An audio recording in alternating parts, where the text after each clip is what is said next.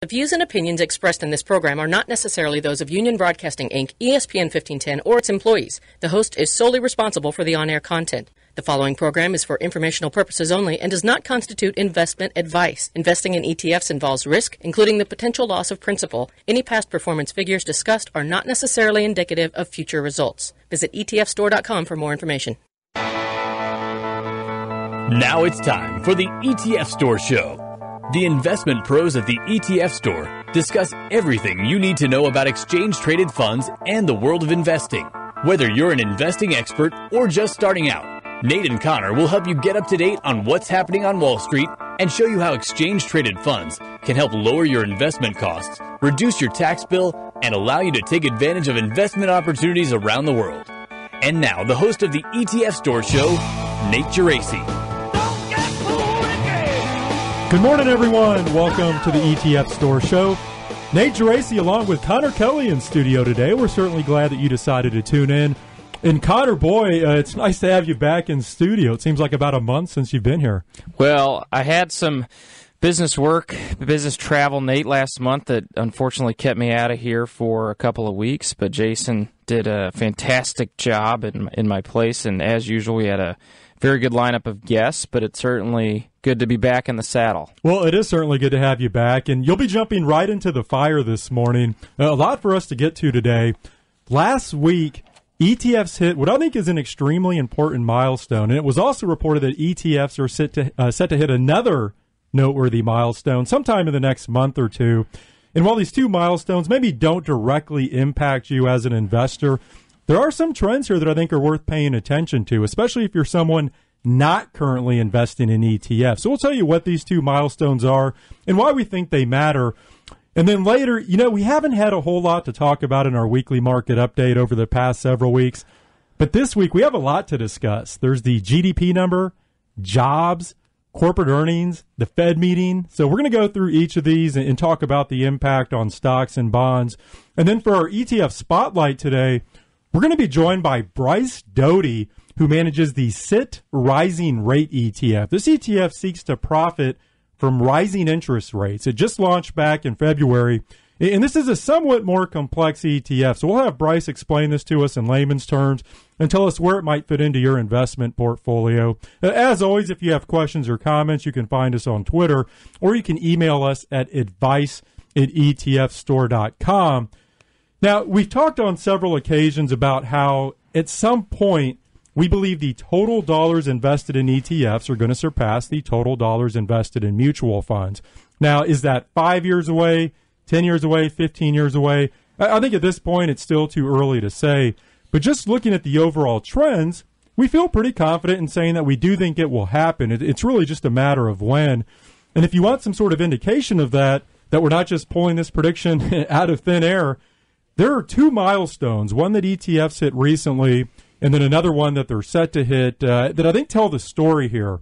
And first, on Friday, the Wall Street Journal reported that for the first time ever, individual investors placed more money into ETFs than mutual funds over a 12 month period. So through March, over the past year, individual investors put $267 billion into ETFs and $255 billion into long term mutual funds.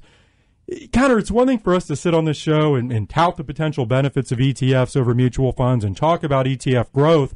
But it's another to see investors voting with their own dollars, and that's what we're seeing here. That's exactly right. And, and, and this is an extremely noteworthy um, piece of news that came out in this in this Wall Street Journal article last week, Nate. And here's why. I mean, when you when you're simply looking at the amount of assets in ETFs compared to mutual funds. There's still a large majority of dollars, you know, still in mutual funds. But what matters about this new data is that we can now see a trend that more individual investors, again, for the first time ever, invested their dollars into ETFs and mutual funds. I mean, that is a huge inflection point, and we fully expect to see this trend to continue to accelerate going forward.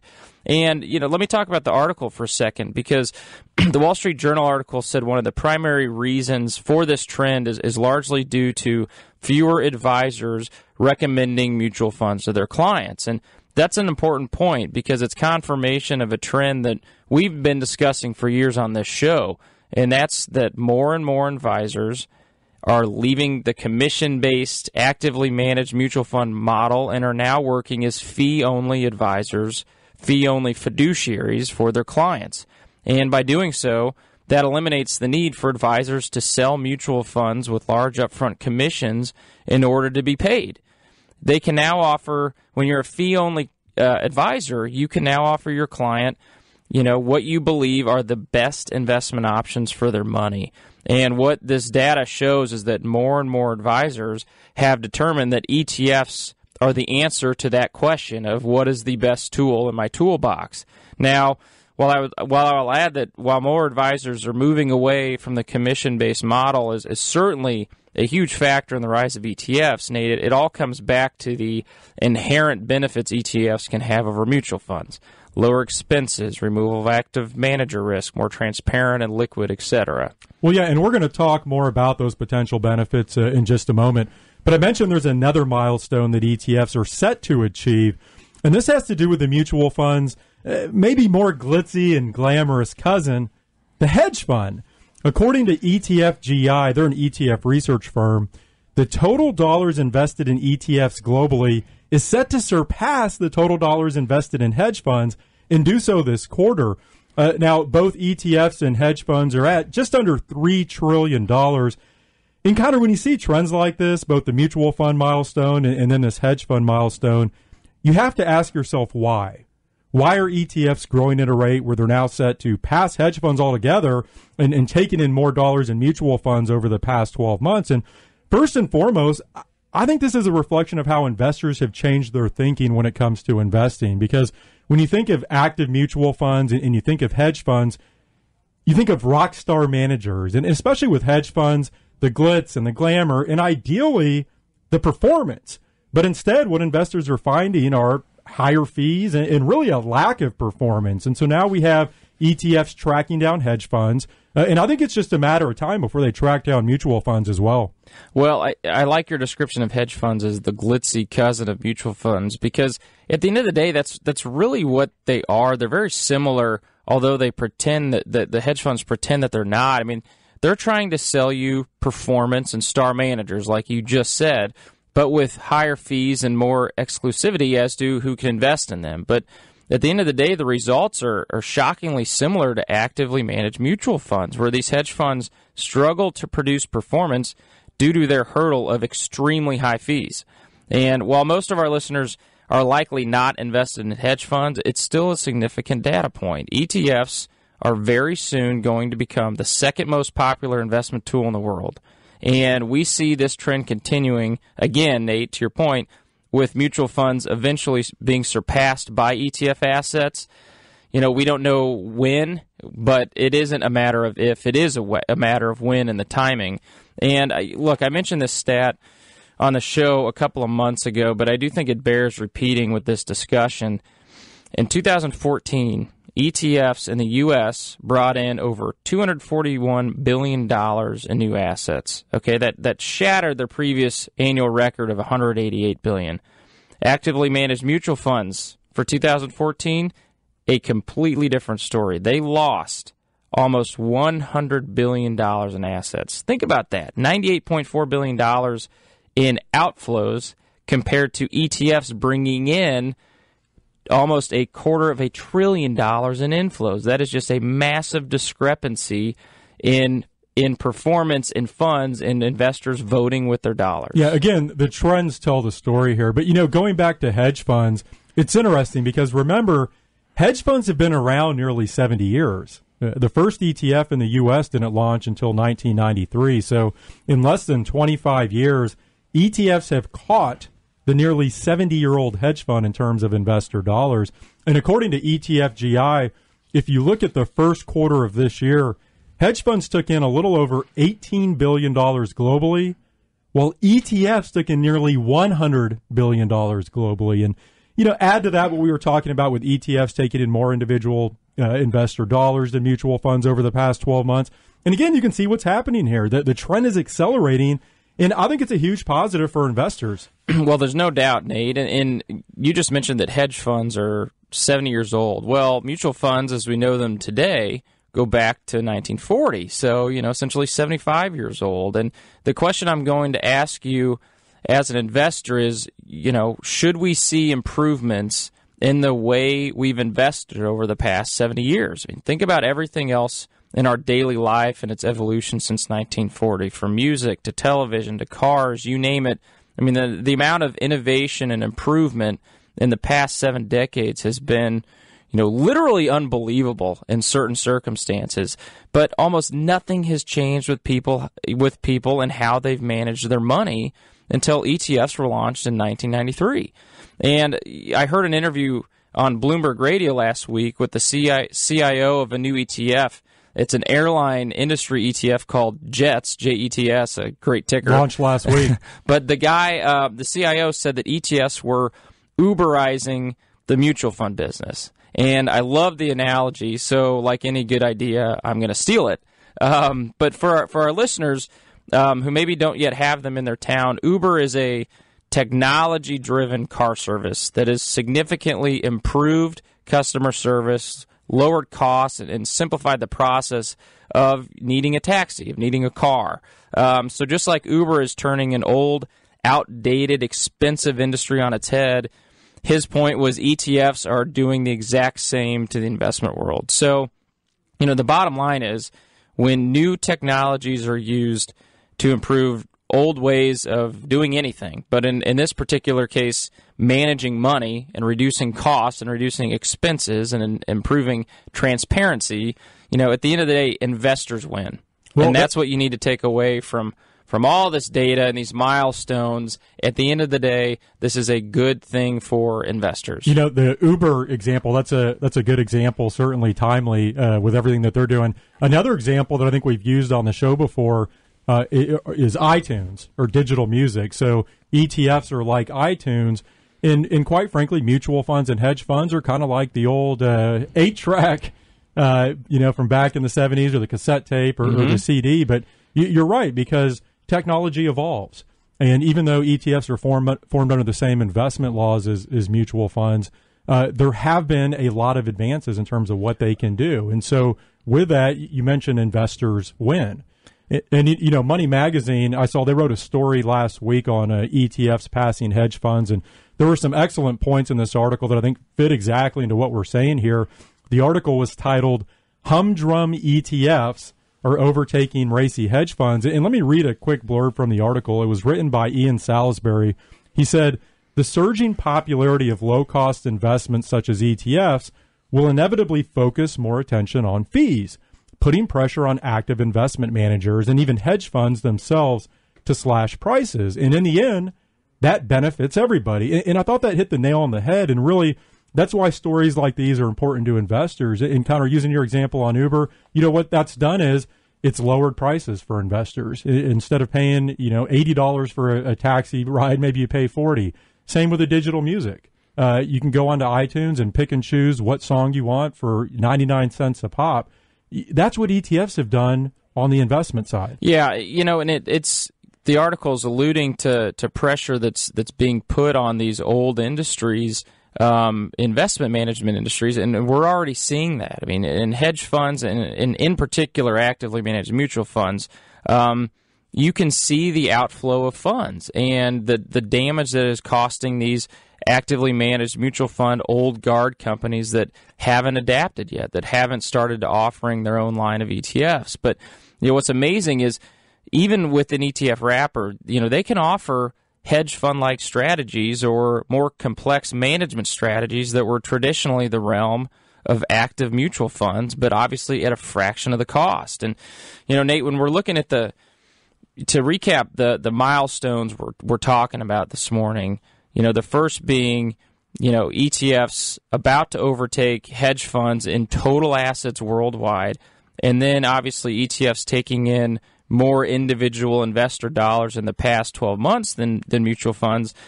Look, if you're already using ETFs in your own portfolio, or your advisor's already using ETFs to manage your money for you, then you should feel really good about that. You should feel confident that you've made the correct decision.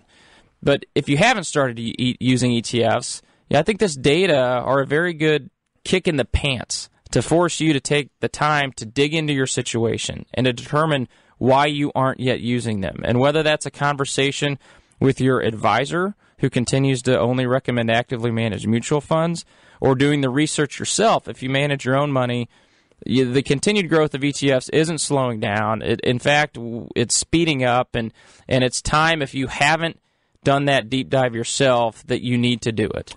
That's a great point. You know, sometimes I feel like we we sit on the show and we're kind of kicking uh, mutual funds and hedge funds in the teeth, and that's really not the idea here. The idea here is really to explain the potential benefits of ETFs and you know, sometimes I, I use the uh, the iTunes example and the cassette tapes and, and, CDs with, with mutual funds and hedge funds. Sometimes it might be fun to pop your cassette tape into the old Walkman and have a stroll down memory lane, but it's also good to check out the new technology and see what's out there. And, and certainly there's a learning curve and you have to become comfortable with it, but there are plenty of resources out there.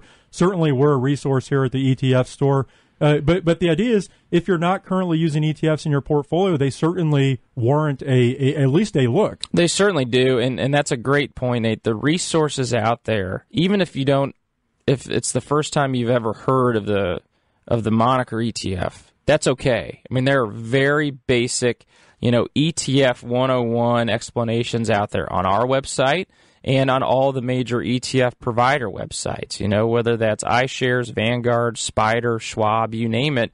Uh, ETF Database is, is, a company we mentioned quite a bit, etfdb.com. Um, you know, they're trying to kind of become the, the Morningstar, the independent third party resource for everything ETFs and, take a, a, an independent, agnostic approach to all of that.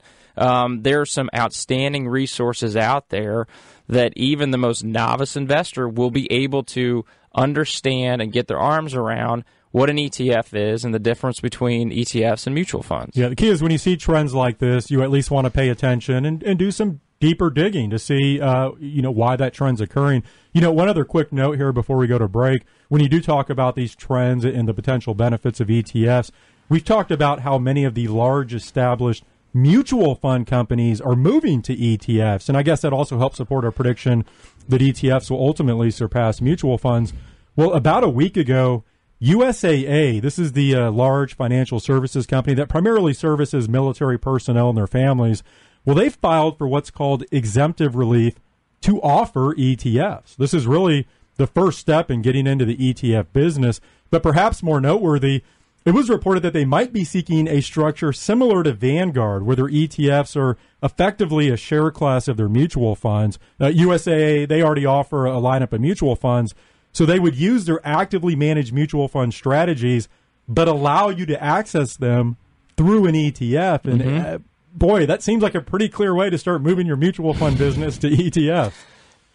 Look, mutual funds, they're companies and they're run by that are run by smart people and they are seeing the exact same numbers of asset flows that we're talking about today. You know, and and they, and they have if they have no if they haven't realized they need to get moving yet, they're they're falling behind. And, and this is USAA is just another perfect example of an old guard, actively managed mutual fund company realizing they can't keep their head in the sand any longer and they are making the they're making the move to ETFs, and and we've we've listed the companies you know that have done this uh, in the past, and almost every traditional uh, mutual fund company that's been around this country for a long time, you know, maybe some have been dragged kicking and stre- screaming, and some have uh, been more. Uh, excited and willing to jump at the ETF space, but either way, they're all ending up in the same spot, and that's realizing they have to offer ETFs to stay relevant. All right, let's take a break, and when we come back, we have a lot to cover in our market update this morning, so we'll do that. And then later, we'll be joined by Bryce Doty, who will spotlight the Sit Rising Rate ETF. This is the ETF Store Show on ESPN 1510. Do you have any questions about your retirement strategy? Need help crafting a plan? Call an ETF Store investment advisor today at 877 365 ETFS. That's 877 365 3837 or visit etfstore.com.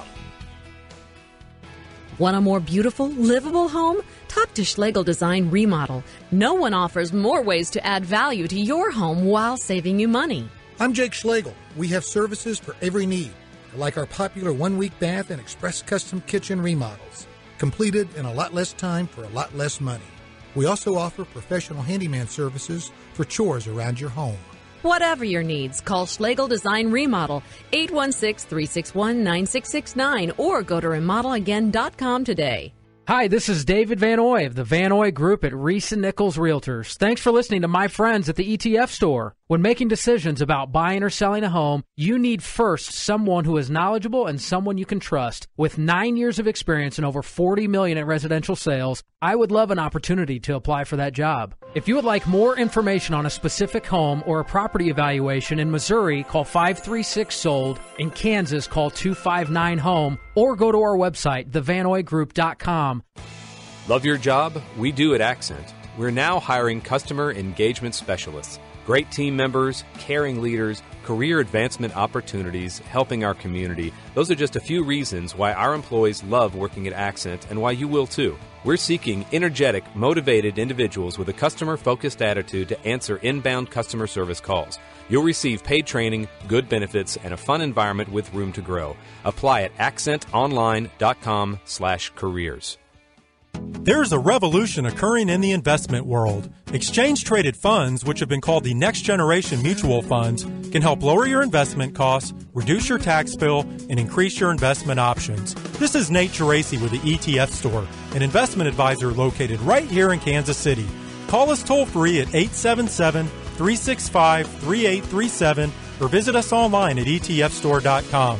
And don't forget to tune in to the ETF Store Show every Tuesday at 9 a.m. right here on ESPN 1510. Do you want more exposure locally and nationally for you or your company?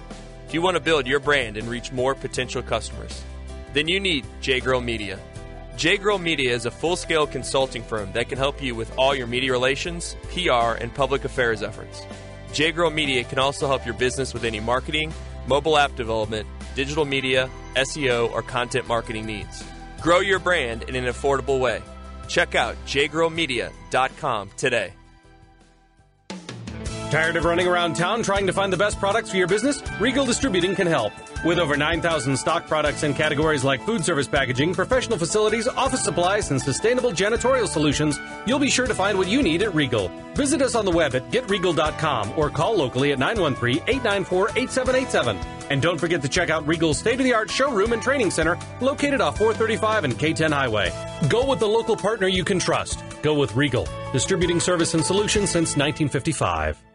Are life stresses beginning to take their toll? Take time to maintain your health by seeing one of our exceptional therapists at My Massage Bliss. At My Massage Bliss, we provide a level of service well above the industry standard by providing the best therapist, staff, and value for your time and money. Don't take our word for it. Our ratings and reviews speak for themselves. Come visit us in Overland Park on the corner of 143rd and Metcalf, online at mymassagebliss.net, or give us a call at 913 956 5100. We look forward to serving you. There's never a bad time to see your dentist. So if you haven't been for a while or if one of your teeth is actually starting to hurt, it's always easier to fix it before it gets worse. We aren't anti-dentites like the Seinfeld episode, so give Dr. Kevin or Matt Cummings a call at 816-246-1003 or check us out on our website, www.cummingsdentistry.com. Remember, floss the ones you want to keep and mention this ad and get a 10% discount on your first visit.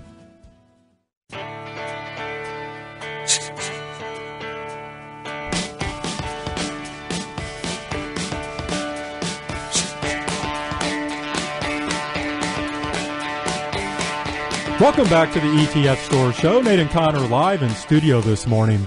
Don't forget that each month on the show, we select one question sent in by a listener and we answer it live on the air. We'll actually be doing this next week.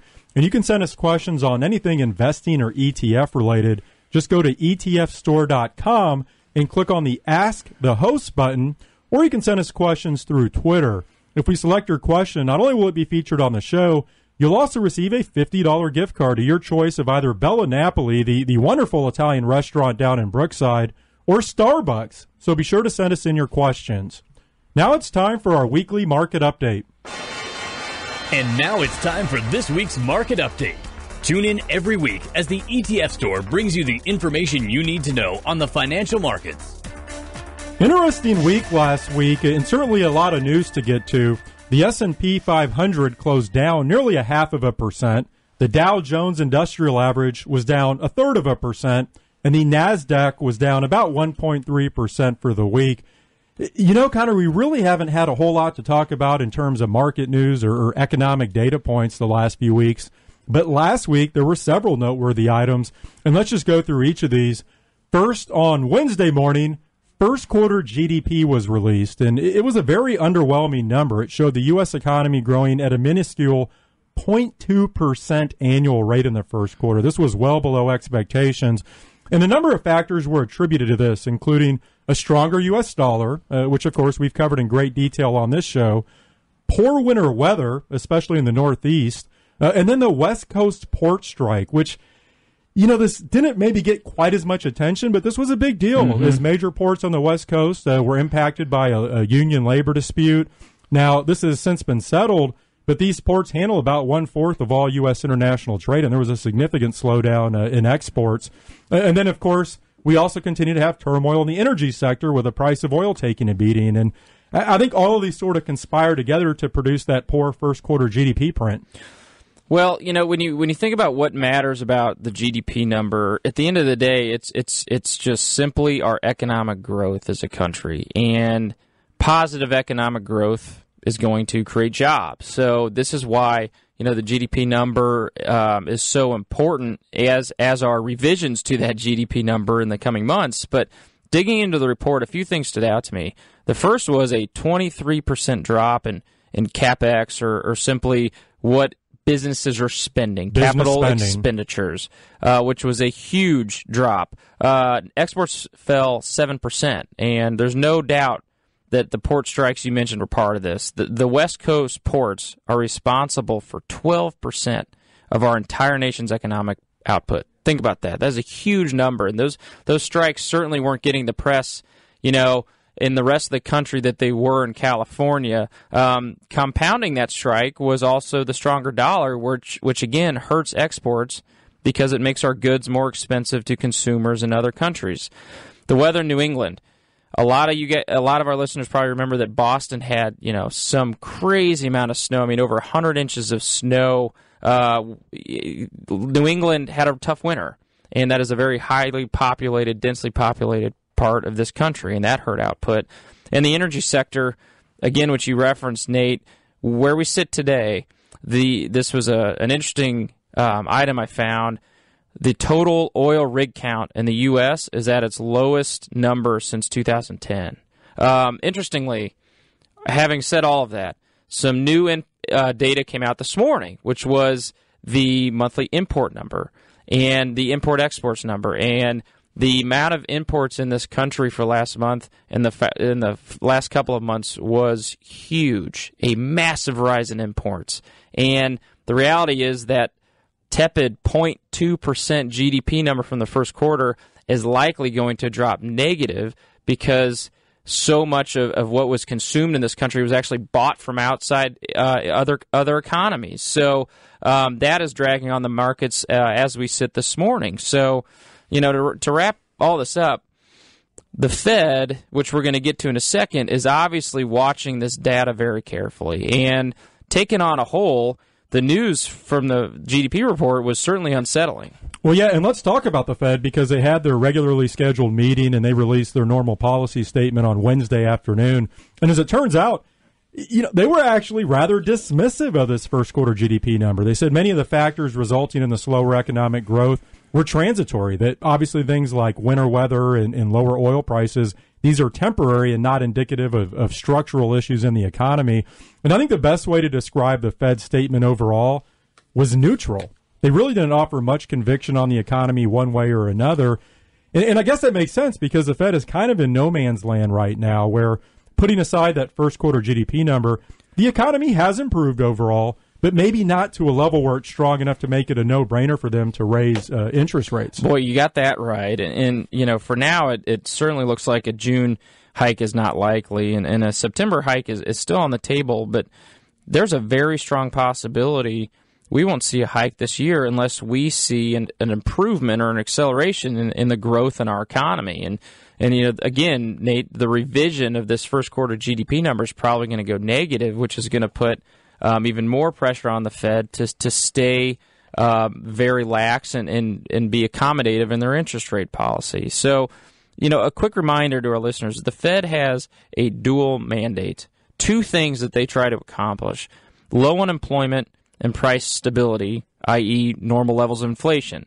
And at this point, you can argue that one or both of these goals is not being achieved.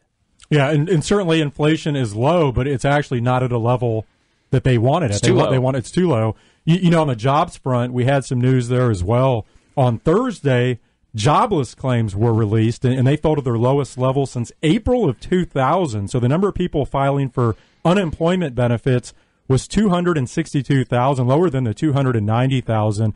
Also, wages rose 2.6% compared to the first quarter last year. That's the fastest pace since 2008, and certainly another good sign. So I guess you can put uh, both of those in the positive column for the economy yes. and for a potential Fed rate hike. Uh, and then lastly, here, we are in the midst of corporate earnings season, uh, and about 75% of the companies in the S&P 500 have reported earnings so far.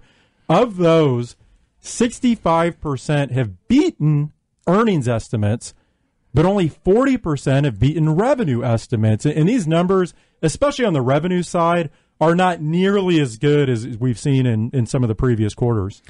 Well, Nate, I mean, in the last couple of quarters, companies have talked down guidance, and especially large company, large cap companies facing the headwinds of a strong dollar, making their exports more expensive.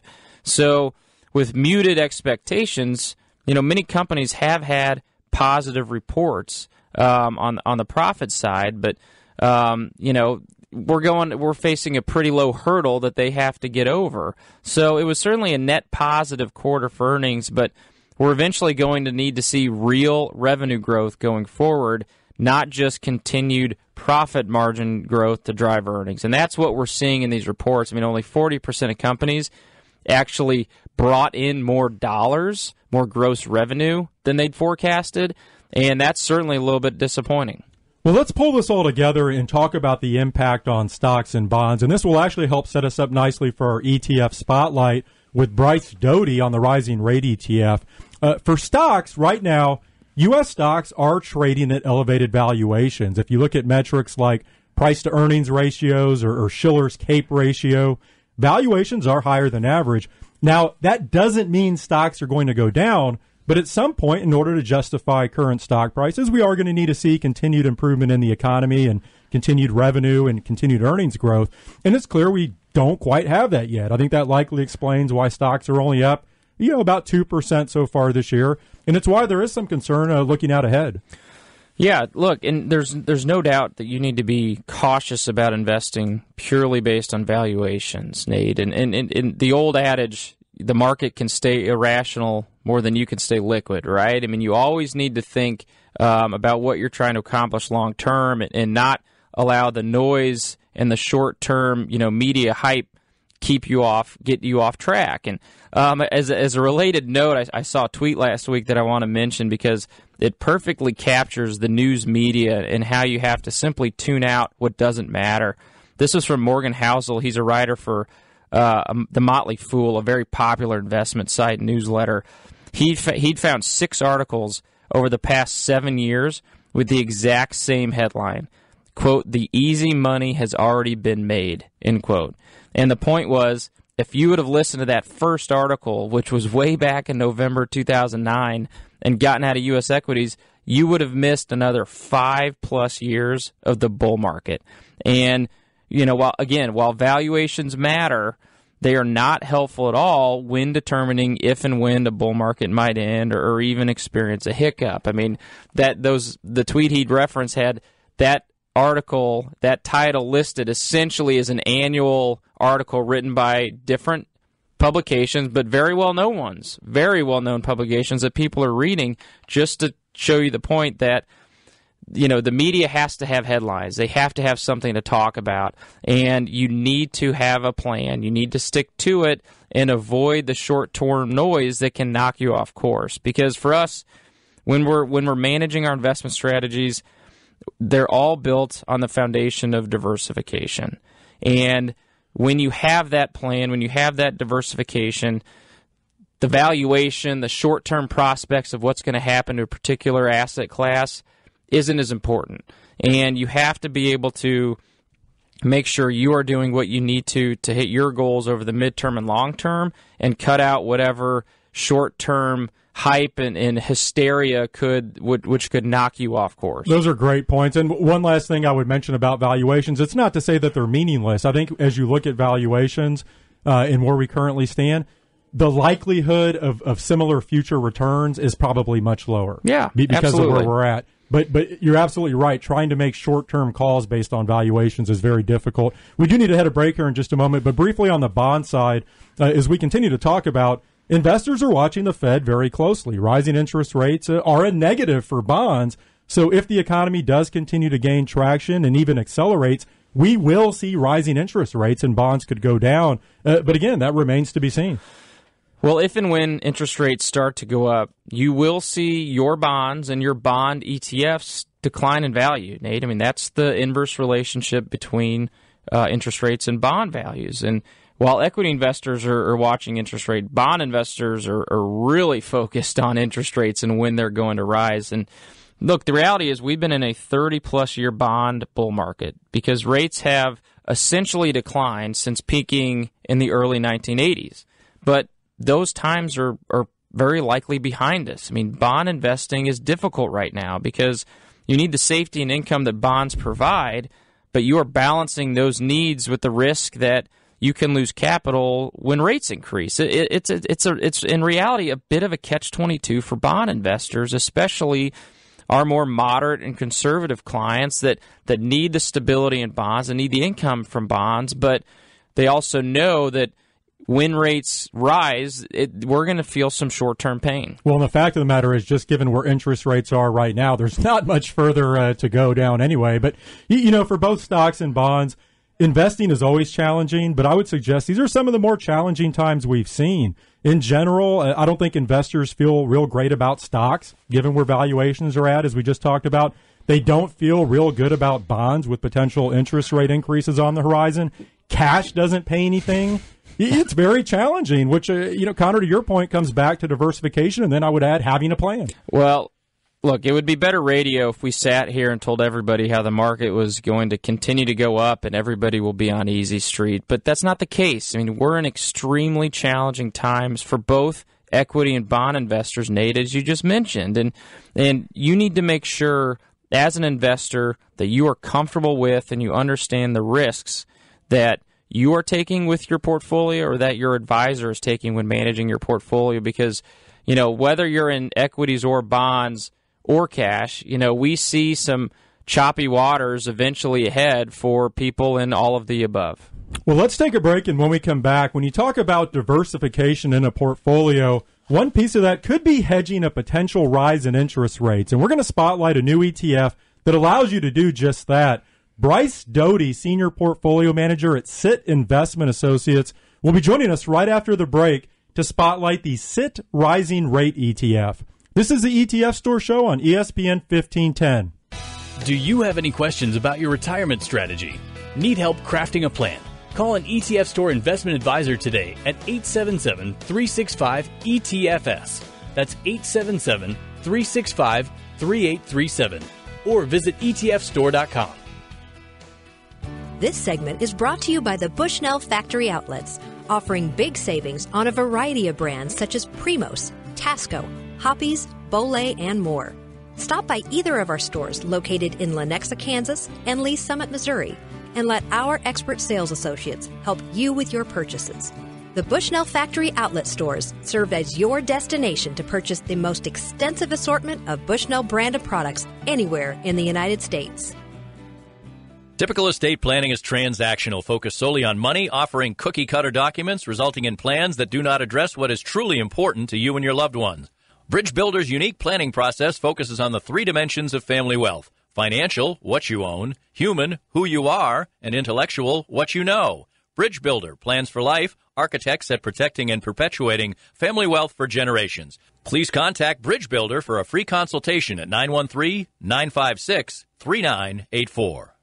Will you profit from rising food prices? Bulk Food International. Do you want a tangible asset besides gold or silver? Bulk Food International. Would you like to own an investment that will be valuable 10, 20, 30 years from now? Bulk Food International. With Bulk Food International, you can own a variety of food products that will be viable and valuable for years to come. Bulk Food International will store your products for you or deliver to your location. Best of all, you can use your IRA or 401k funds to make your purchase. Bulk Food International, 816 888 8290. Investing in your future. Looking to ship freight but not sure how? Choose AOK Freight to be your single source for all your shipping needs and we'll take care of all the work for you. We offer the balance of budget friendly prices, seasoned account managers, and trusted trucking options with leading technology. With more than 20 years of experience in the freight shipping industry and having moved over $1 billion in freight, we know the importance of providing competitive rates and dependable services for truckload, LTL, and intermodal freight services for all industries. If you are a company looking to save on your shipping expense without giving up dependability, let us be your personal shipping assistant. Call us now at 816 301 6226 or find us on the web at www.aokfreight.com. For those of you who haven't heard, the oldest building in Kansas City has the newest rooftop deck. Kelly's Westport Inn's rooftop deck has a full service bar, TVs, bathrooms, lots of fans, and an awesome view of Westport. Kelly's has a weekday happy hour Monday through Friday from 3 to 7. They also have live music every Friday and Saturday night. Come enjoy tunes from bands like Lost Wax, Flanagan's Right Hook, and Michael Beer's Band. Every city has a place where the elite gather for witty conversation over trendy cocktails. In Kansas City, that place is definitely not Kelly's. For more information, go to kellyswestportinn.com. Has it been a while since you or your financial advisor reviewed the investments in your portfolio? With today's ever changing global economy, it's become more critical than ever to make sure your portfolio is on track. Whether you're managing your own investments or using an advisor, it never hurts to get a second opinion. At the ETF store, we provide free consultations on your portfolio. We'll highlight the strengths and weaknesses and tell you exactly what you're paying for your investments. This is absolutely free. There's no obligation. Just give us a call at 816 363 3837 or click on the free consultation button at etfstore.com.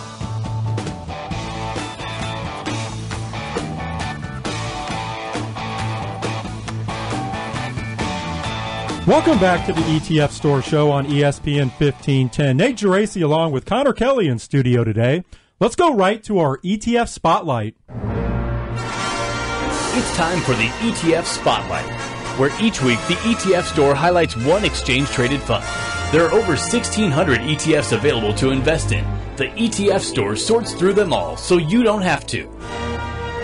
The ETF we're spotlighting this week is the Sit Rising Rate ETF. The ticker on that is RISE, a great ticker symbol, by the way.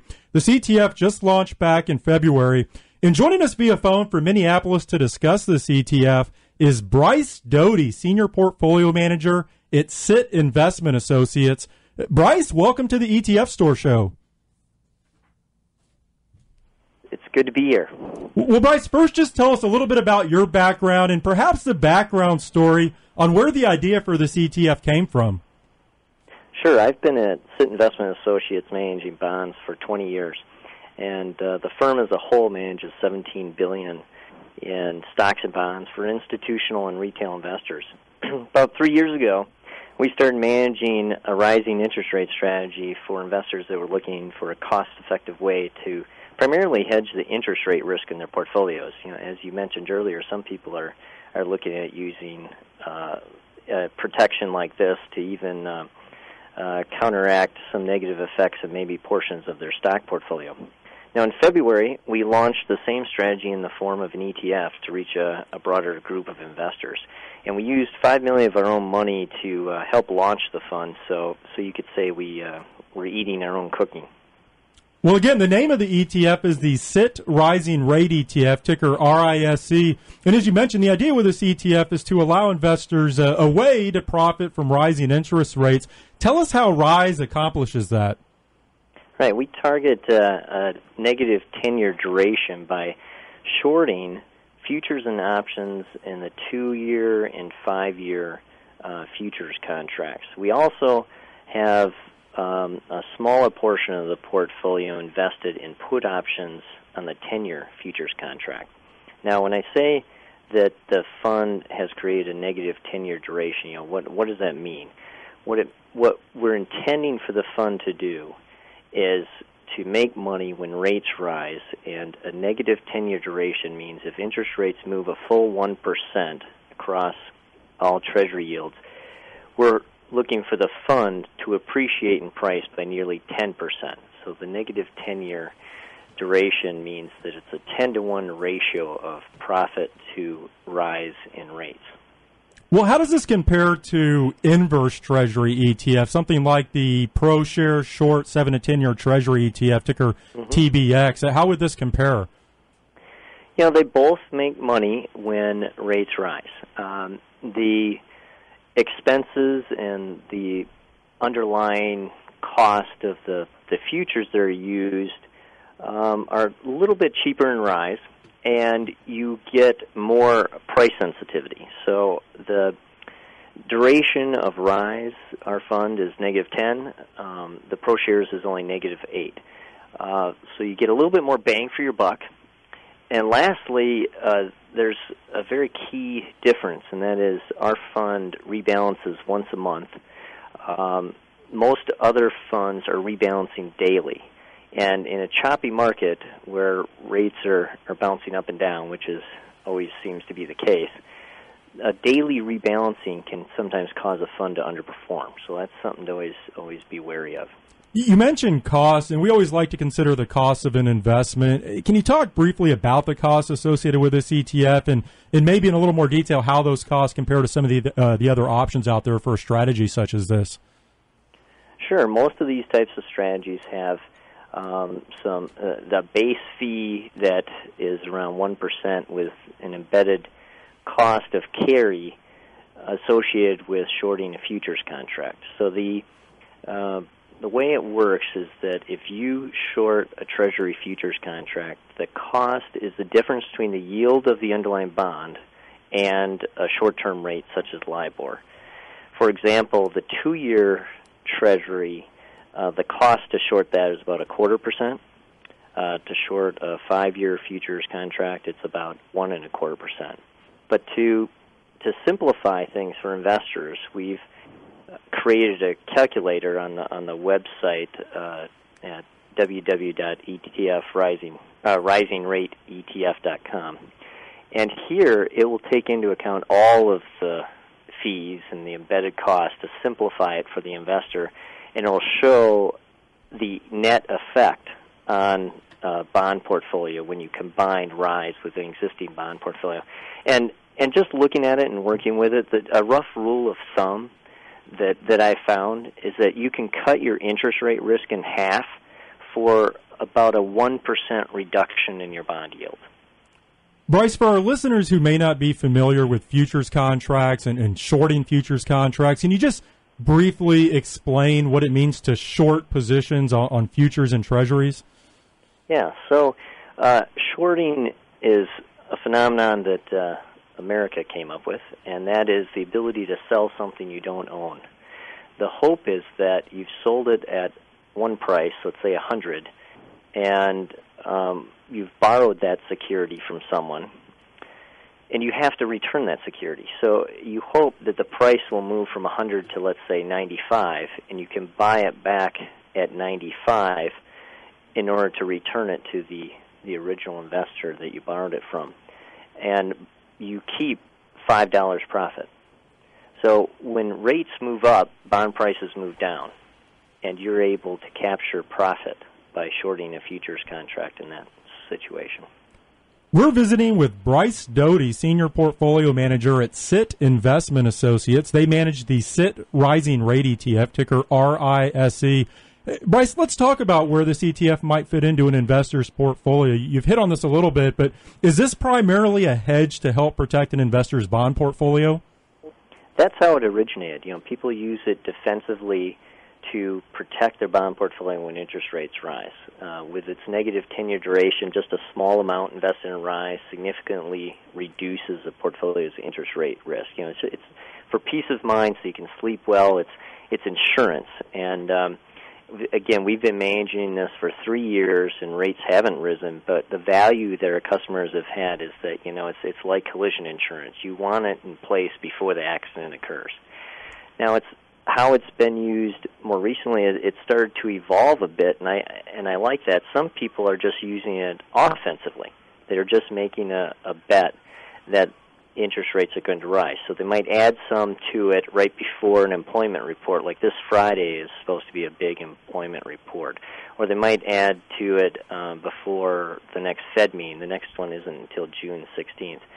Uh, the the last way that I've seen it used is is probably the most interesting. You had just mentioned how difficult it is to find investments right now that that might not be uh, at risk for a rise in rates.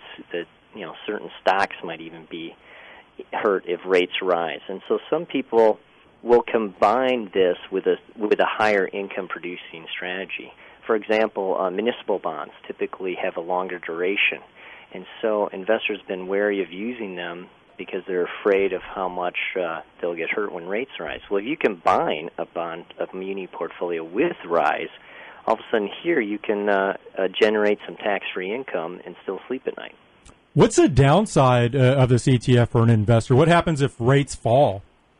Yeah, so if rates fall, this fund will lose money, and that's another reason that we've we've tried to structure around the two and five year treasuries primarily. So the two year treasury being at half a percent yield, you know, how far can it fall? So how far can you get hurt? So I like the the downside uh, a relatively limited downside given to the unlimited upside potential if rates rise. The other the other reason that we've structured the fund around this two to five year part of the curve is because when people say they're worried about rates rising, what I think they really mean is like, you know, when the Fed is going to decide to raise short term rates. And when short term rates go up, when the Fed finally makes that decision, the two and five year yields will really jump the most. And so this is structured to be right in the sweet spot for when that happens. Bryce, we have uh, just about a minute left here, and I think just about every week in this ETF Spotlight segment, it seems like we ultimately end up talking about the wonderful innovation in ETFs, and we talk about how ETFs have helped to bring institutional caliber investment strategies to all investors, and I think Rise would certainly seem to be a great example of this. How do you view ETFs, and how do you think they've benefited uh, end investors? Yeah, no doubt. I think it really does bring an institutional uh, effort and knowledge base and skill that is available to everyone. And this particular strategy, it's even a little bit better. You have more liquidity than our than our existing institutional product because of the nature of ETFs. You know, it's so great you can get in and out of this throughout the day. Uh, it's it's also a very inexpensive way to to purchase this. You know, there's the commissions are low. It's it's just so much more flexible and um, and very effective. We we believe this is the most cost effective protection that you can get right now, and it's available to everyone. Well, Bryce, with that, uh, we'll have to leave it there. Very interesting ETF. We certainly appreciate you joining us this morning. All right. Thank you very much. That was Bryce Doty, Senior Portfolio Manager at Sit Investment Associates. And if you would like to learn more about the Sit Rising Rate ETF, you can visit risingrateetf.com. And I should note that they have a, a, wonderful tool on their website. I think Bryce mentioned this. It's called the Rise Calculator, and it allows you to calculate the impact of interest rate increases on your current bond portfolio and then how Rise could help hedge that. It's a really neat tool. I, I think certainly worth a look for anybody investing in bonds. Again, that's at risingrateetf.com. And, and kind of, we have just about a minute left here on the show you know, it's funny because we do these spotlights every week. I, I just mentioned it uh, with Bryce. Here you have a, a, rather sophisticated investment strategy that is now available to the masses, and you have to ask yourself, eh, you know, when the Fed does ultimately raise interest rates, and they will, this could be a very interesting hedge in a portfolio. Well, first of all, when you're talking about shorting futures and, and getting that complex, Bryce did an outstanding job taking what is a very complex strategy and making it understandable. Um, but it, it just goes to the democratization of investing that ETFs have allowed any investor. You can have a couple hundred dollars, a couple thousand dollars in an E Trade account and buy something like this rising rate strategy where you can profit and hedge yourself, your other bond investments against rising interest rates. I mean, it's outstanding. Yeah, very, very interesting spotlight. Again, that ETF is the Sit Rising Rate ETF, ticker RISE. That's all the time we have for today's show. Podcasts of the ETF Store Show are available at etfstore.com and also Apple iTunes. Check us out on social media. We're on Twitter, Facebook, and LinkedIn. You can stay up to date on all the latest from both the ETF Store and the ETF Store Show. Thanks again for joining us this morning. And be sure to tune in next Tuesday at 9 a.m. as we'll be answering your questions on ETFs and investing, including answering our listener question of the month. Until then, have a great week, everyone.